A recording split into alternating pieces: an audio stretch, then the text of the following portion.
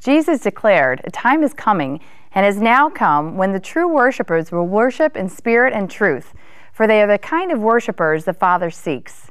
God is spirit, and his worshipers must worship in spirit and truth. John 4 23 and 24. What is worship, and what does it mean to worship in spirit and truth? Today's guest, an international worship leader and evangelist, will share about his passion to bring people into a deeper realm of God's glory through worship.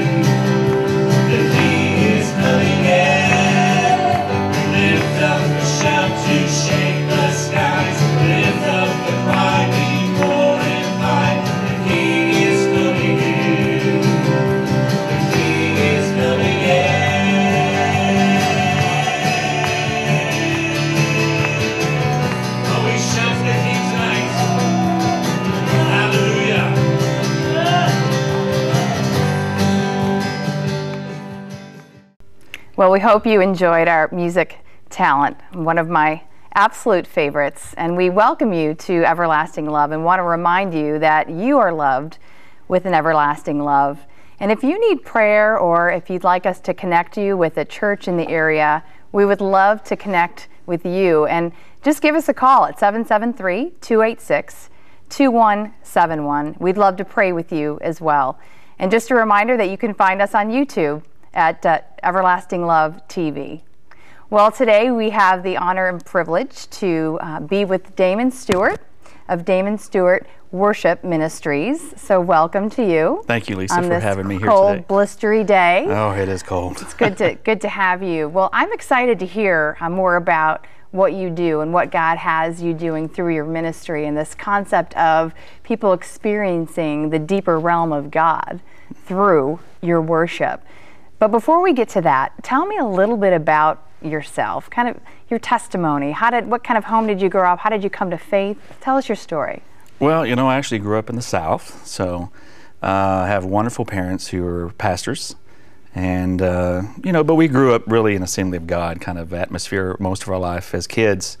So I kind of remember those. Um, summer week revivals, you know, that lasted several days, sometimes even a week or two, and it'd be hot and wow. people fanning themselves. But, you know, God was moving in those times. And so as a kid, you kind of got to witness a little bit of the Holy Spirit, you know, touching people's lives and people getting healed. And, and in some ways, you know, God was kind of getting me ready for, you know, later in life what I would be doing. And, but after high school, you know, going into my early teens and early 20s, uh, decided to not really pursue God and pursue my own desires. Mm-hmm. So I left home and went into the military and thought I'd just get away from God and all that stuff and just go find my own life. Mm-hmm. And um, but in the course of that, uh, really was fulfilling the prodigal son story. Wow. You know, just out doing my own thing, and really got involved in alcohol and drugs and you know, um, pornography, just, uh, you know, everything that the world had to offer, I was just eager to grab it up and run with it.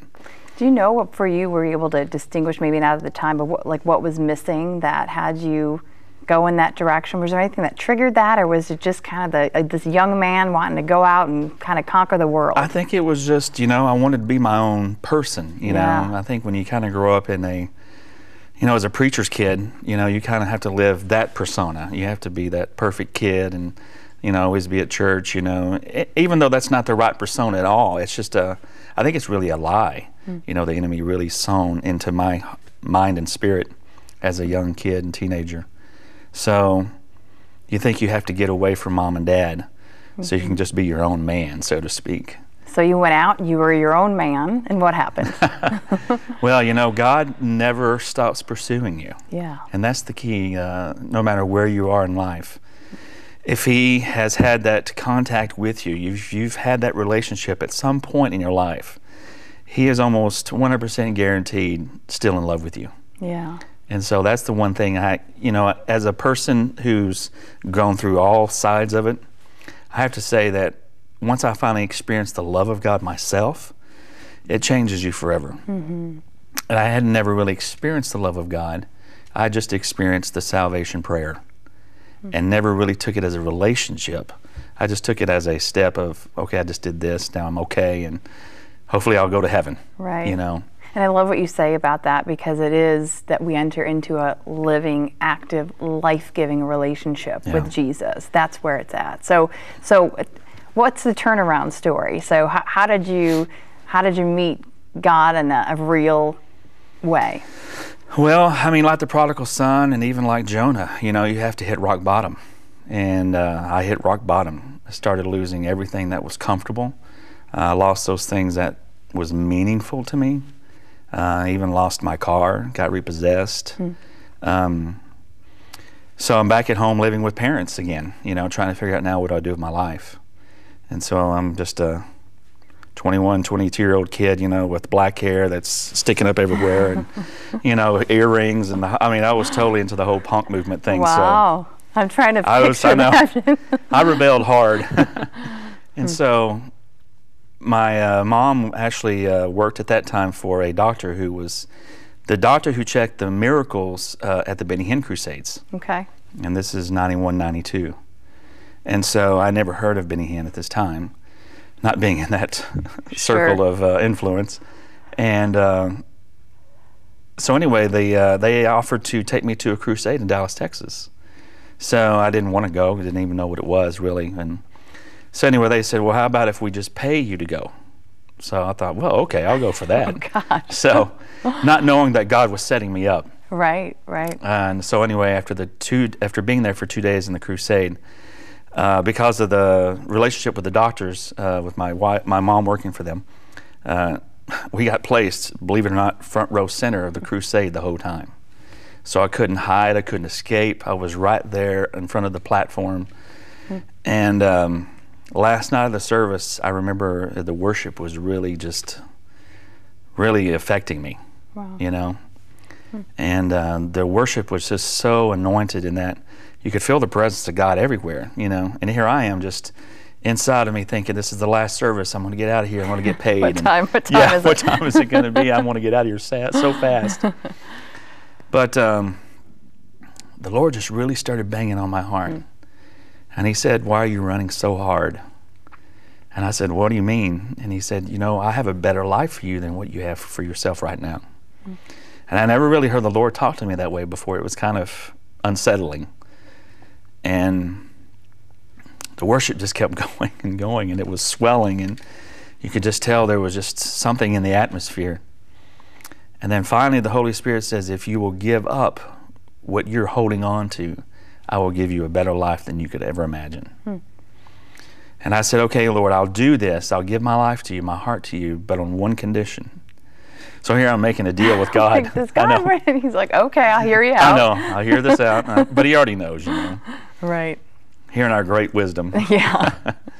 So I said, God, I've seen other Christians who got saved, but yet live a life of misery. Hmm. Most of them are still addicted to the stuff that they went in with, and they're no, they're not even set free, and they just don't seem happy. They don't seem to enjoy serving you. Hmm. So I said, if I'm going to give my life to you, I want everything I'm addicted to to be gone Wow. instantly, or I'm not doing it. Hmm. So as soon as I now I had my eyes closed during this whole time, so I'm just saying this to God. I say, okay, I'll give my heart to you, Lord, if you'll take all this stuff out of me. Excuse me. As soon as I said that, there was a hand on my forehead. I went falling back mm-hmm. onto the floor, and I was out for a while under the power of God. Wow. And when I got up, I mean, I was totally changed. I mean, all those desires for my cigarettes and for my mm-hmm. drinking and instantly was gone. Wow. So God really did a miraculous thing that night. The real benefit of the whole thing tonight was six months later, I had to have a checkup. And what I had picked up in the Air Force because of my lifestyle, I had picked up hepatitis C. Uh, found out that I no longer had hepatitis C. God even healed me of that that night. Wow. So He did the whole package That's in one amazing. night. That's enough to uh, wake you up. It was. it was a, a wake up call in the sense that He really loved me. Yeah. Wow. So what happened after that? Well, there was, you know, it was a roller coaster ride there for a while because, uh, you know, as a really as a newborn Christian, the first year was fantastic. It's truly the honeymoon time, and God really did pour out a lot into me and had a lot of just revelation stuff that He would just speak to me about, and just amazing encounters with the Lord. But I went ahead and decided to go to Oral Roberts University uh, and try to get a degree in uh, telecommunications, actually, TV and film. And it was there that I kind of slid back away from the Lord for a little while. So I got so caught up in the busyness of school and life, and so my relationship with the Lord began to suffer. But I did have the blessing of meeting my wife in Tulsa, Oklahoma, while she went to Oral Roberts University. Wow. So um, God brought us together. And then before we know it, we were moving to Chicago, you know, because of her job situation. And it was at that time God really began to speak to me again. He said, Damon, I really called you to do something. Hmm. And so I really, in a sense, had to get right back with the Lord again and just, okay, Lord, I've been, I've put you off and now I need to get back. And, hmm. and once I did, it was like things just began to move and worship began to be put into my lap. And, and He's like, I've called you to this Right. because all through my years of growing up in you know school you know, I've been taking piano lessons. I was in band, uh, show choir, and all these musical things throughout the years. And, and the Lord really began to speak to me. He said, I was preparing you all those years for what I'm about to call you to do now. Mm-hmm. He is faithful for sure. What would you say to people who are, are resonating with what you're saying and, and maybe they have been near to God and they feel like they're far from Him? What would you, what would you say to them? Well, I would say He's so ever close. That's yeah. the thing. You know, even when I wasn't pursuing Him, like I said, He's amazingly always pursuing us. And it's just sometimes we need to take time to just, God, are you there? You know, if you're there, I need you to speak to me right now. Yeah. And you know what? He usually does. I've never had a problem with him speaking to me when I need him to speak to me. Yeah. Uh, you know, that's the thing. You know, it, you could be living a lifestyle that's not righteous. Sure. Or a lifestyle that is righteous. Either way, he wants to speak to you. Mm-hmm. Yeah, we, we need to listen and then, and then respond. Sometimes we don't want the answer. right. so you were musically inclined at a young age, and God had been preparing you all this time. And we fast forward a little bit yep. to the, the ministry that you are in now. Tell us a little bit about your ministry. Well, I would say probably in 90, 1995, 96, um, in the church we were at that time, you know, we got into a small group. And then just for some reason, the Lord said, I want you to kind of do a little bit of a worship every time you do your small group meetings but at that time I had no instruments. I w- in fact, I hadn't even picked up a piano in several years. I wasn't even playing at that time. Mm. And uh, so I was picking out songs from worship CDs, and I would put it like a little mix together, and we would worship with that, and I would lead it. And so that's kind of how it went for the about, I don't know, probably for about two years. And then Lord finally directed me to a small little church uh, in the air, uh, in the suburbs here, and I don't know, there's probably 20 people.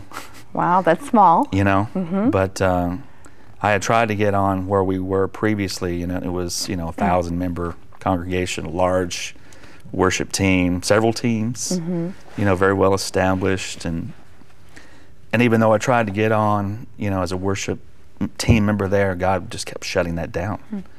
Not even as a support or a help. Wow. But when he moved us to this small little church, they said, This is where I'm going to groom you because you're hidden. Mm-hmm. And I'm going to mold you and make you the way I want you to be, not what they want you to be. Wow. And so, what was that molding process like for you? Uh, the molding process, uh, you know, I have to say, reading about David is, you know, obviously one of my favorites. But um, I've learned to appreciate the hard times he went through. Mm-hmm. Because some of the greatest songs written is his times of discouragement. Yes. And when you're being groomed in the ministry, whether it's a worship leader or another position in life that God's called you to, there's always the grooming, you know. And you think because you're born again and you got the Holy Spirit and you're on fire, you got mm. the mission and the call. But God's like, no, I've got a lot of things I want to do in you first. Mm. And there's this one thing that God really spoke to me. He said, don't ever try to compare yourself to other ministers. Because even those who may be similar to you, who may be even further out there as far as notoriety. He said sometimes many of them will start out strong, but they will not finish. And then the whole comparison thing, even God's word talks about comparison. It does. I mean, comparison really is, is a sin, mm-hmm. and it creates fear. It does. And then and causes security. us to shrink back. So, yeah. Yeah, and it causes you to get caught up in the, well, I should be just like them because yeah. I'm just as talented, when in essence, God is saying, it's not about you. Right. It's about me. And I'm doing a new thing. I yeah. want to do something through you that's unique. And that's how he operates. And so sometimes people get uh, upset about that and they'll quit the ministry altogether. Hmm. And because they don't like what God is wanting them to do, they want to do it their way. And we've I've had instances where the possibility of going to a six-figure income to do the Christian music circuit has been proposed to me, and God has told me every time, no, you can't do that. Wow, which That's I can imagine I, to some degree it was enticing. It's very enticing, especially yeah. when you're married and you have children and mm. you got mm-hmm. responsibilities. Uh, mm. A secure income with secure touring cities right. every year is a comfortable position to have as a music artist or mm-hmm. a Christian artist. But God says, I didn't call you to be a Christian artist, I called you to be a minister of the gospel. Worship is just one of the tools you're using to do that. So, what does that look like? you know, I'm still trying to figure that one out seven years later. But, um, you know, I asked the Lord that when I first stepped into this ministry full time, and I said, Lord, what am I? What is it I'm doing? And He just said, I'm calling you to be a worship evangelist. I said, but what is that? I never even heard of that. Yeah. And He said, just as an evangelist goes in and preaches the gospel so that people will come to my kingdom, He said, I'm calling you to do the same, but also to bring people into my presence through worship. Hmm. He said, because in worship, more things happen than when you just preach the word only. He said, because my presence, God says, I inhabit the praises of my people. Right. He said, there will be many things that will take place just in worship that will set up for the word to be delivered appropriately and at the right time, and things will be done according to how I want to do it, not how you would like to do Right. it. Right. so he said, basically, you're just bringing people into my presence through worship. so, what do you recall the first or one of the first times where you? I know you know you have been in a smaller church and leading worship, which is awesome. But Yeah. one of the first times that He called you to worship in this context and to evangelize. Into the ministry aspect? Yeah. Yeah. Mhm. Um, wow, I have to think about that for a second. Uh, I have to say, I was nervous more than I anything can else. imagine. Um, it was also in a very small gathering. It wasn't anything, you know, big or glamorous or Mm-hmm. anything of that nature. And I have to say, most of the time I've been in, I've been fortunate to be in the small, but I've also been in the large, you know, from a hundred to several 1000 So I've got to lead worship in all spectrums. The key to it is this: is that it's an audience of one. Yes. Yeah. That's the bottom line. Mm-hmm. It's kind of cliche, but it's true. You know, you can't take somebody where you haven't been yourself, Hmm. and that really, really goes for worship.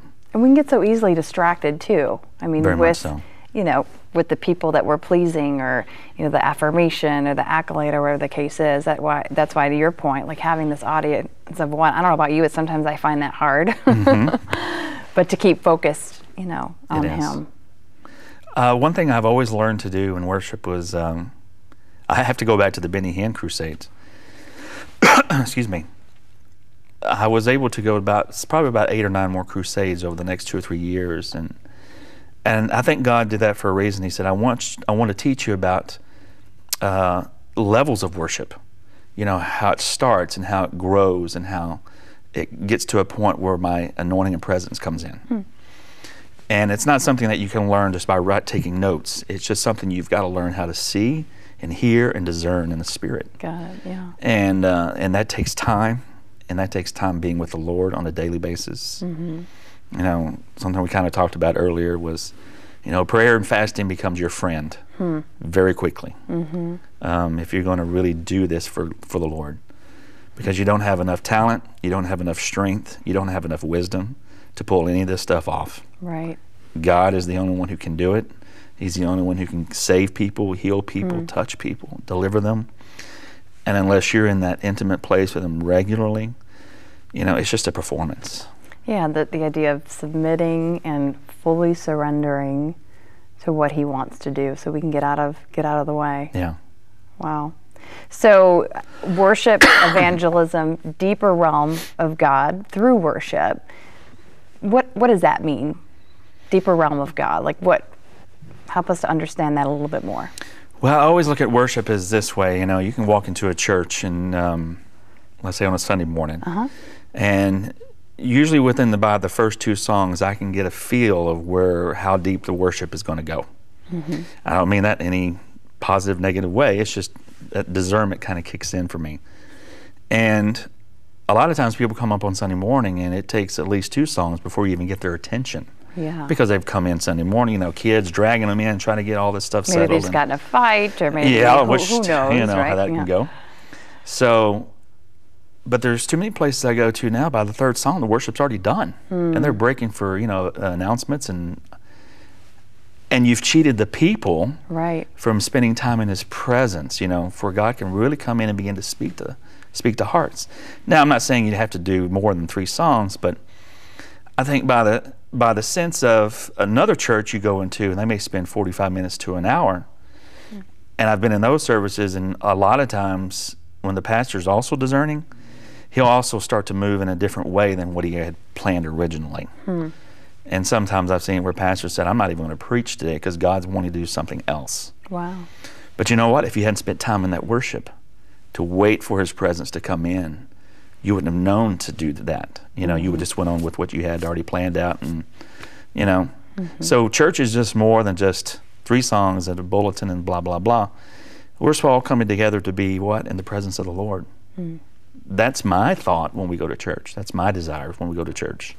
I'd rather be with God than a good message about, you know, how I can live better and all this other stuff. You know, we know that. Mm-hmm. But when you've been in the presence of the Lord, you know, God does something in you that's life changing. I always tell people that a moment or an experience or encounter with God, you'll always remember. Messages are a dime a dozen, you know, and I'm not discounting the message. You got to have the Word of God. But how many messages can you remember on one hand over a mm-hmm. lifetime? But I mm-hmm. can remember every encounter with God Wow. because they're so they're so precious. They're so amazing, mm-hmm. you know, because you met with the Lord, you know. Right. So, how does one ready themselves to experience God in that way? Well, I always say, you know, worship, you know, I don't even say this. A lot of uh, famous worship leaders have said this worship is a lifestyle. Yeah. And I know it's harder for some people than others to make that a lifestyle because not everybody's into listening to worship music 24 hours a day. And I would be lying if I said I listen to worship music 24 hours a day. I don't. but worship is part of my lifestyle in the daily sense is that I do spend some time with the Lord in worship during the day. And when you say worship, worship has many, you know, facets to it. But you, when you say worship, you're you're mainly meaning from a music perspective, like ushering the. Well, yes and no. I mean, Yeah. sometimes it's, uh, I may just walk around the house while I'm cleaning and just pray. Yeah. and then maybe just sing a song, Hmm. just out of my own heart. Sometimes it is putting on that CD. Right. you know, of my favorite worship songs that I have on a compilation, you know. Mm-hmm. And I may spend 30, 40 minutes just worshiping the Lord, and then I'll pray for a while. It's just kind of how I feel the Lord is leading that morning. I don't, and that's the fun thing about it, you know. It shouldn't be a religious. I got to do this and got to do that. You know, what is it that you know you want to express to God today? Yeah, a response, Yeah, not as you said, religious or kind of a ritualistic thing that leaves the heart right. Piece I mean, out it's of it. Mhm. excuse me, it's one of those things where, um, you know, especially right now, we're in this cold, frigid air, and, you know, and let's face it, you don't want to really do much of anything, you know. Right. But, you know, January tends to be a very hard month for a lot of people, too. And uh, depression kind of comes in. We're locked in our houses. We can't do much outside, and and so I've I've gone through it myself, and I've talked to others who've had to deal with depression. And one of the key things I learned about coming out of those kinds of attacks, or even those kinds of things that you may go through on a regular basis, is worship. And sometimes just finding that one song or that one chorus, I found to be amazing at breaking that power of depression off of someone. Yeah. You know, it's amazing. The power of worship has, it changes the atmosphere around you. I, you know, I've I've found that, and I sometimes I forget. It's so easy to turn on an awesome worship CD, Yep. and there is just something about that that just speaks to the heart and puts me in just a, a more humbling place and ready to receive Yes. what God has. So thank God for music. I know, right? Yeah, literally, you're Thank like, God. thank God for music. Yeah, thank you, David.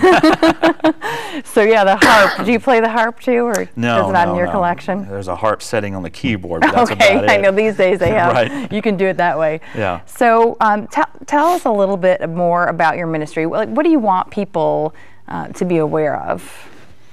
Well, you know, I've been very, very blessed. You know, uh, God has really opened doors for me to travel, you know, different places all over the U.S. And as I said, you know, two different countries I've got to lead worship in now, and What Australia? Australia and Israel. Yeah, not bad places. Not to too bad, you know. I'm praying for Scotland and England this year. Oh wow, good for you. So, you know, you have to step out in faith. That's you always got to step absolutely. out in faith. Ask, you can ask. You do. Right, you'll receive. It may not be exactly what we thought, but it'll be better. Right? Right. But God hears the prayers of his people. yes, he know? does. Yeah. And especially when you send, sometimes he actually will put that in your heart too, to start mm. praying for the specific, because he has a reason for it, you know? Yeah. The door may be opening. So, you know, it's one of those things where God has really done some amazing things. and taken me places I never even thought I'd go to. And I always tell people who are in ministry, don't worry about where you have to go and why you have to go. If God says go, go. Yeah. So, as far as the ministry is concerned, I just go where God sends me. Mm-hmm. You know what? And He continues to open doors.